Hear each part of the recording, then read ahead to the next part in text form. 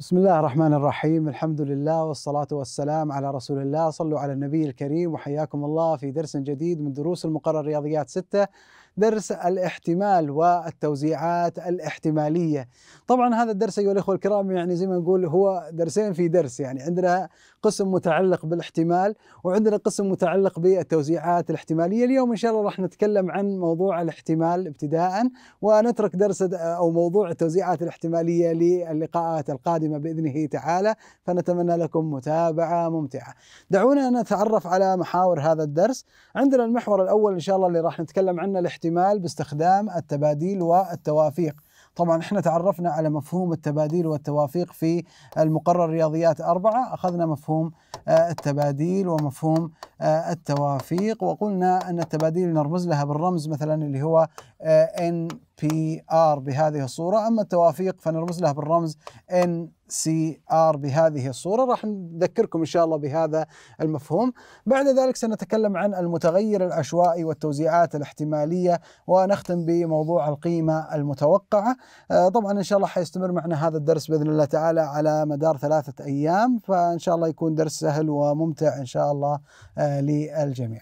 آه، نبدأ الآن أيها الأخوة الكرام بالاحتمال. ماذا أقصد بكلمة احتمال؟ ذكرنا أن مفهوم الاحتمال هو حالة تقع ما بين حادثة مؤكدة الحدوث وحادثة مستحيلة الحدوث. دائما لما أقول لك احتمال أن يقع هذا الشيء فهو ما بين مستحيل الحدوث وما بين مؤكد الحدوث. فأقل حادثة عندي ممكن اللي هي حادثة مستحيلة الحدوث اللي يكون احتمالها صفر وأعلى حادثة عندي هي حادثة مؤكدة الحدوث اللي احتمالها يساوي واحد. كذلك بإمكاننا أن إحنا نقول أننا بإمكاننا أننا نقيس فرصة وقوع الحادثة. فإذا وقعت الحادثة الشيء المرغوب مرغوب في ذيك اللحظة نقول أن هذا يسمى نجاح. وإذا لم يقع نسمي في ذيك اللحظة نسميه إيش؟ فشل. نسميه فشل. فبالتالي بإمكاني أني أنا أحسب احتمال النجاح وبإمكاني أحسب احتمال الفشل. طبعا أنا عندي الحادثة بصورتها العامة حيكون عندي نجاح زائدا فشل. أما لما أبغى أحسب احتمال النجاح فأنا باخذ اللي هو النجاح على احتمال النجاح زائدا الفشل. وإذا أردت حساب احتمال الفشل فإني أقسم كذلك الفشل على احتمال النجاح زائدا آه، الفشل. طبعا إحنا حنتكلم الآن عن الاحتمال باستخدام التباديل والتوافيق ولكن أنا أعرف يعني ربما من مقرر رياضيات أربعة ما مر علينا مفهوم التوافيق ومحتاجين كذا نتذكر هذا المفهوم نتذكر مفهوم التوافيق. فماذا أقصد بكلمة التوافيق؟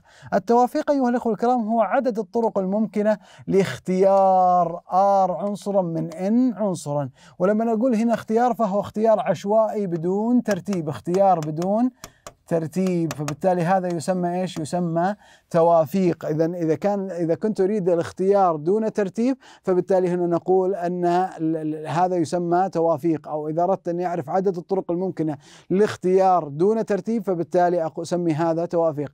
مثلا يكون عندك صندوق مثلا فيه ثمان كرات وتريد اختيار ثلاثة كرات منها بدون ترتيب. أبغى أسحب ثلاث كرات فقط فبالتالي فإني راح أعبر عن هذا بعدد الطرق آه، سيكون ثمانية سي ثلاثة ويحسب بهذه الطريقة.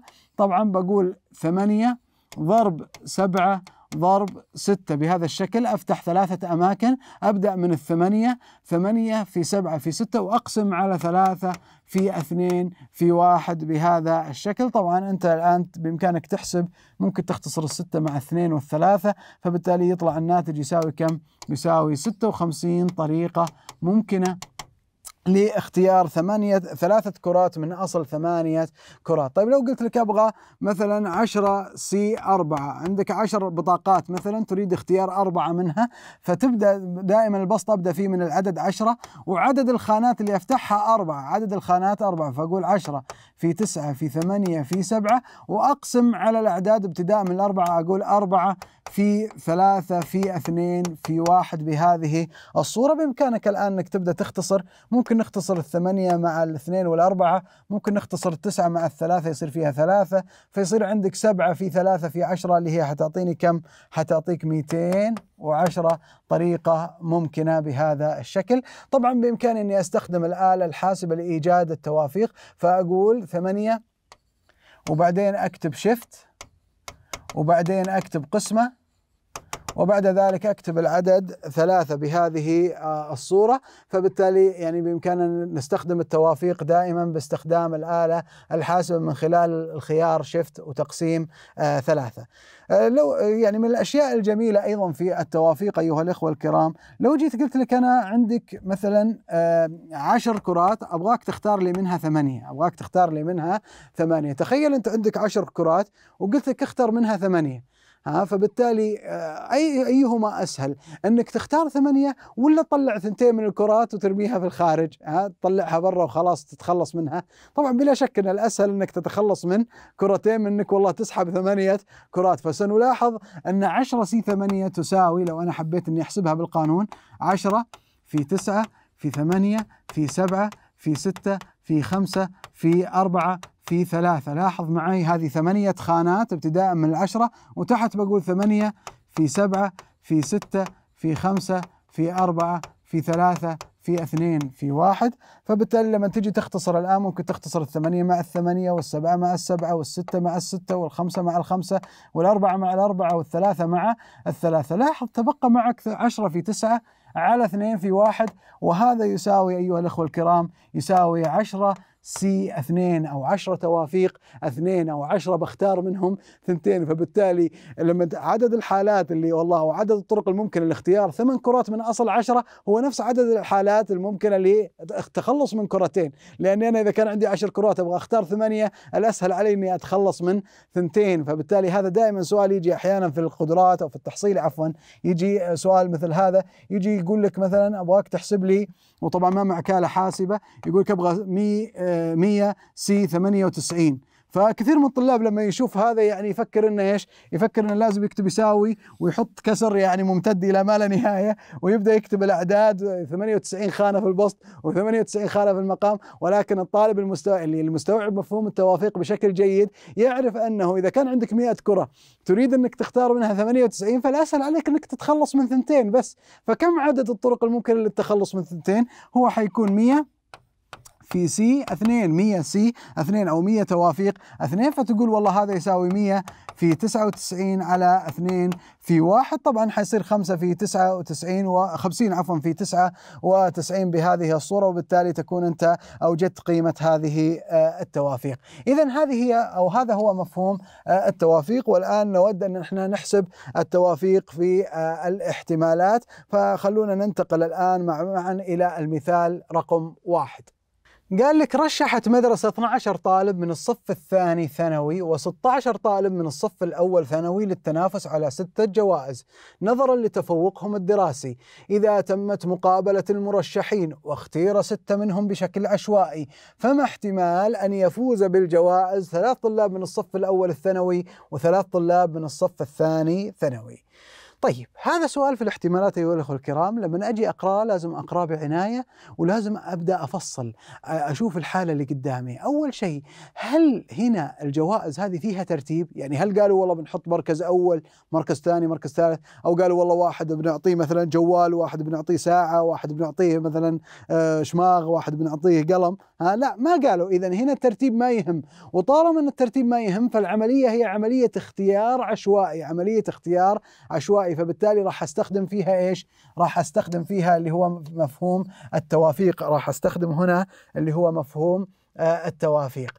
طيب لما أجي أقرأ دائما مسائل الاحتمال قلنا دائما لابد أني أقرأ مسائل الاحتمال وأفكر دائما ما هي الحالة العامة وما هي الحالة الخاصة. إحنا نعرف دائما أن مسائل الاحتمال دائما هي عبارة عن الحالة الخاصة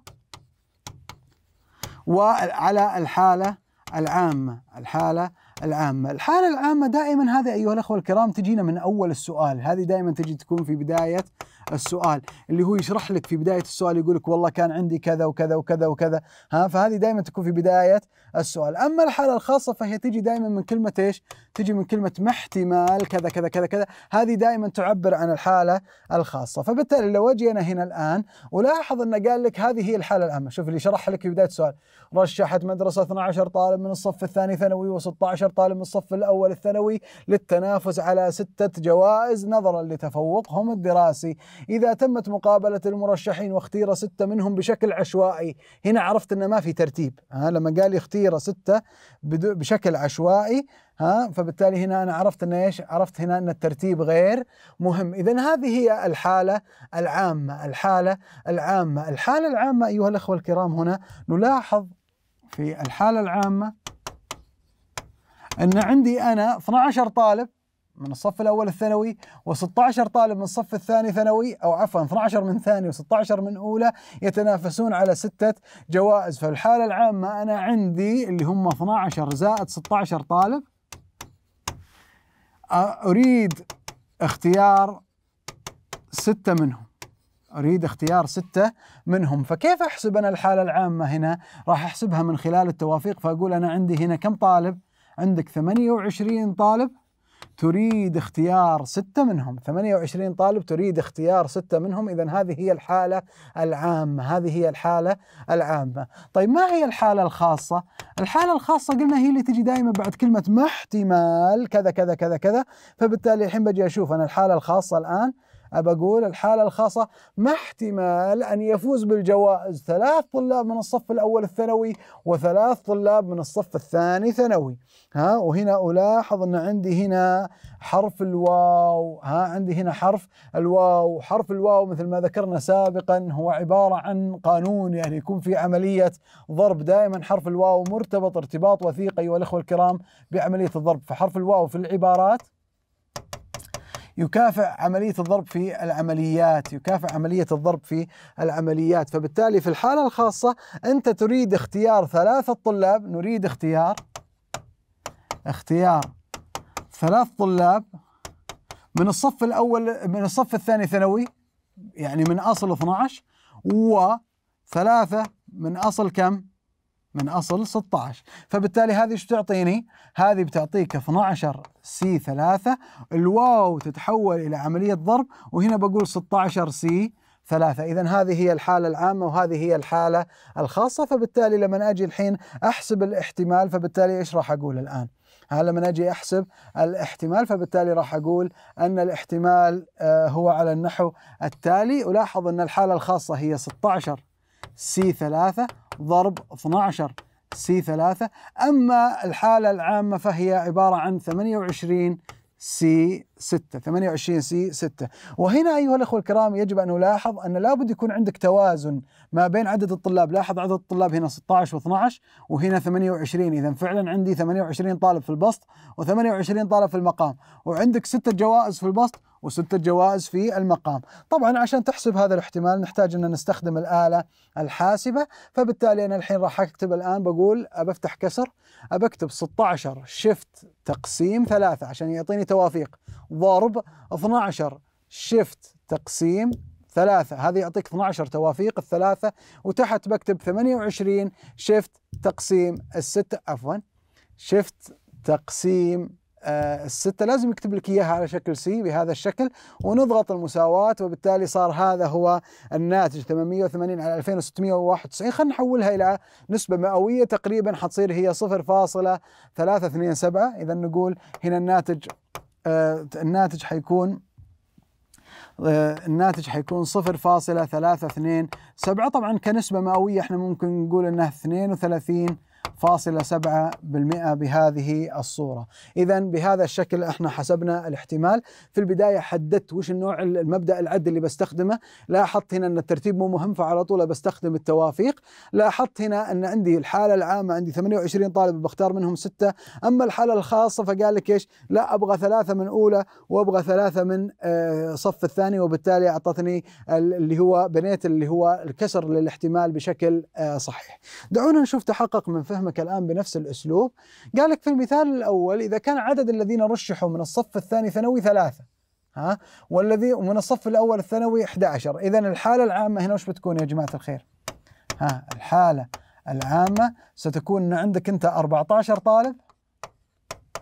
وكم جائزة؟ ها عندك ثلاثة من من الصف الثاني و11 من الصف الأول وعدد الجوائز كم؟ عندك أربع جوائز فكيف ممكن إحنا نحددها؟ بنقول 14 C 4 14 C 4 بهذه الصورة بهذه الصورة طيب الحالة الخاصة الآن اللي هو يبغاك تحسب احتمالها وش راح نقول الآن قال لك إذا اختير أربع طلاب بطريقة عشوائية ما احتمال أن يفوز طالبا من الصف الثاني وطالبا من الصف الأول فأنت تريد اثنين من الثلاثة اللي هم الصف الثاني واثنين من ال 11 طالب اللي هم في الصف ليش؟ في الصف الأول فهذه بتصير عبارة وطبعا هنا فبالتالي هنا بتقول ثلاثة بختار منهم اثنين و11 بختار منهم اثنين وبالتالي العملية هنا تكون عملية ضرب وبالتالي لما أجي أحسب الاحتمال إيش راح أقول؟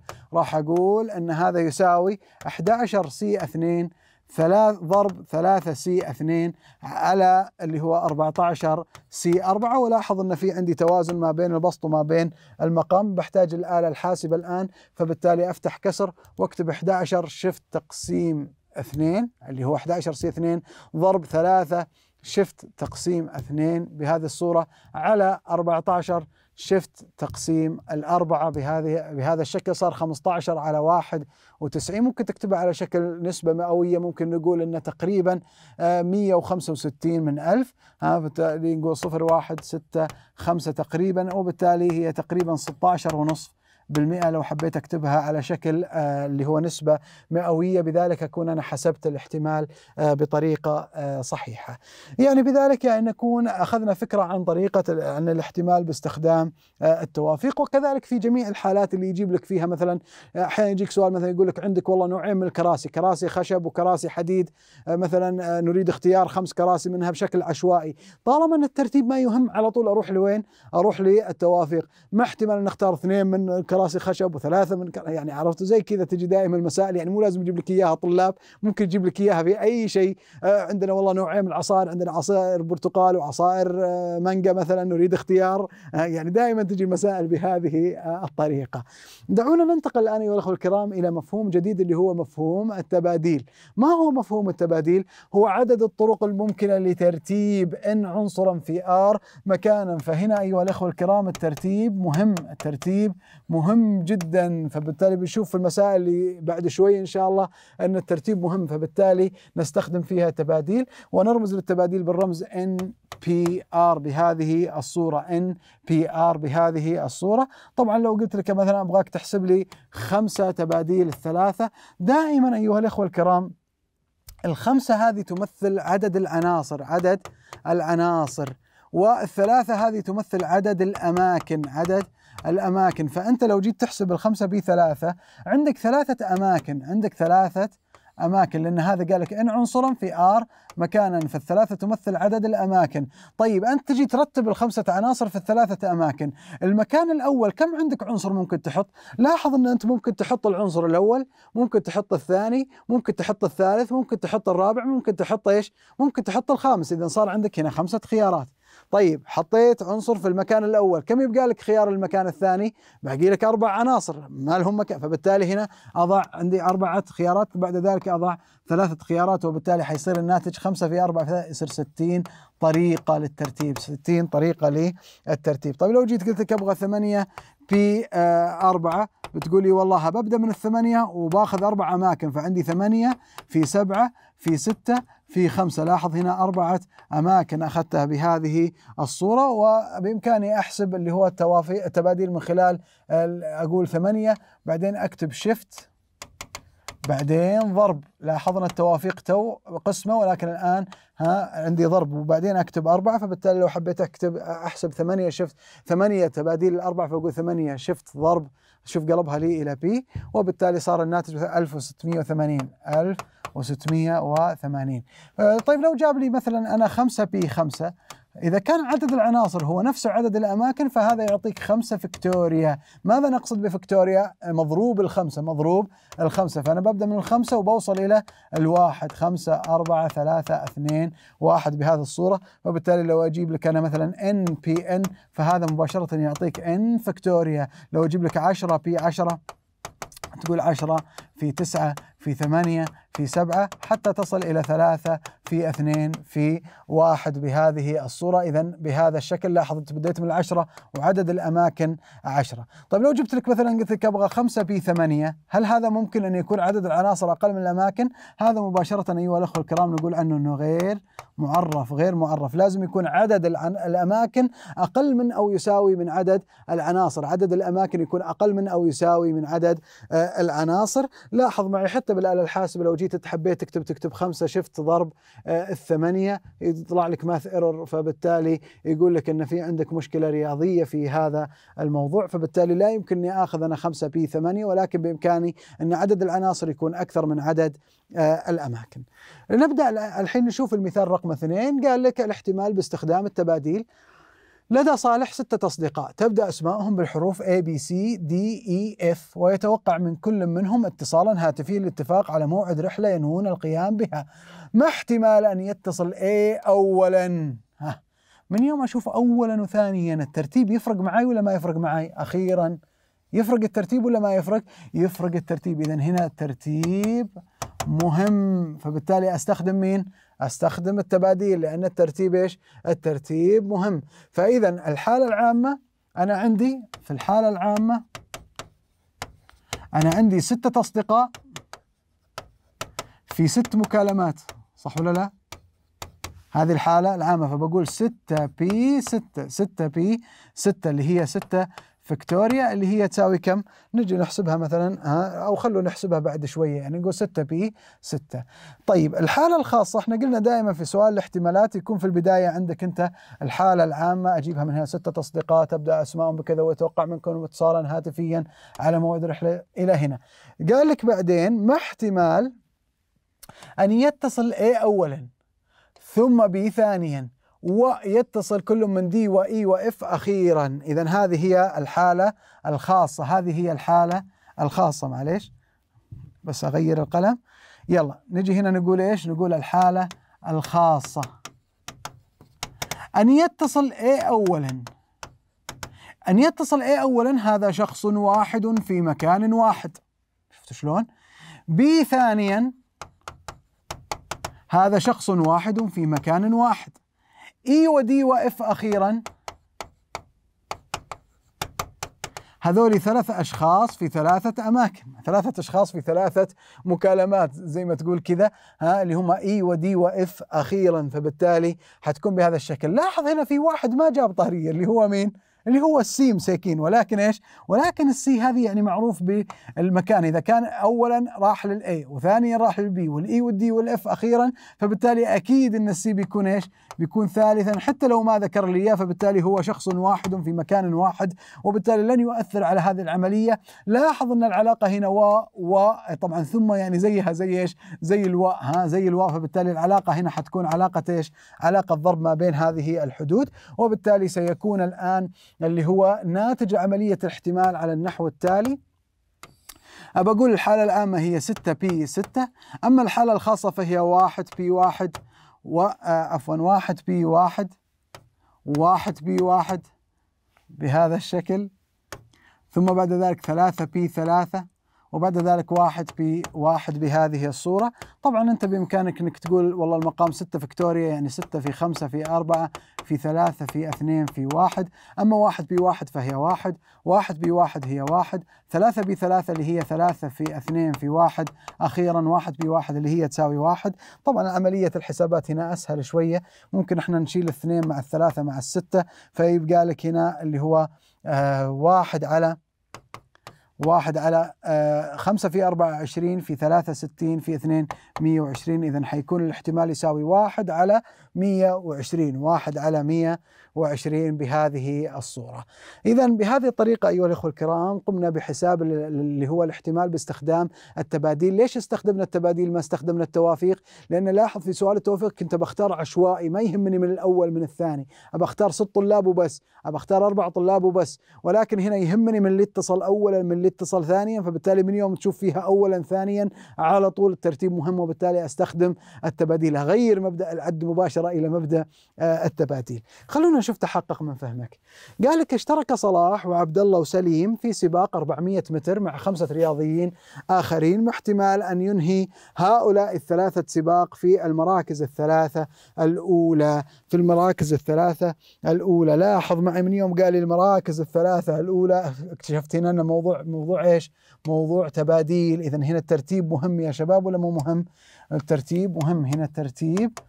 مهم لأنه قال لي المراكز الثلاثة الأولى فبالتالي يفرق معي المراكز الأولى عن المراكز الأخيرة فبالتالي الترتيب مهم. ما هي الحالة العامة هنا؟ خلونا نحددها من السؤال.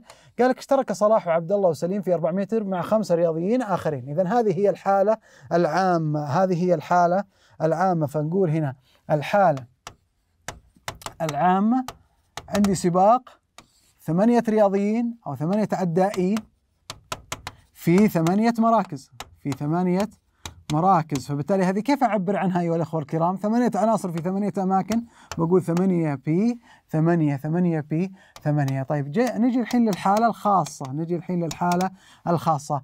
قال لك ما احتمال أن ينهي هؤلاء الثلاثة السباق في المراكز الثلاثة الأولى. أن ينهي هؤلاء الثلاثة السباق في المراكز الثلاثة الأولى. في الحالة الخاصة نلاحظ أن صلاح وعبد الله وسليم في المراكز الثلاثة الأولى. إذا بقول ثلاثة أشخاص في ثلاثة مراكز.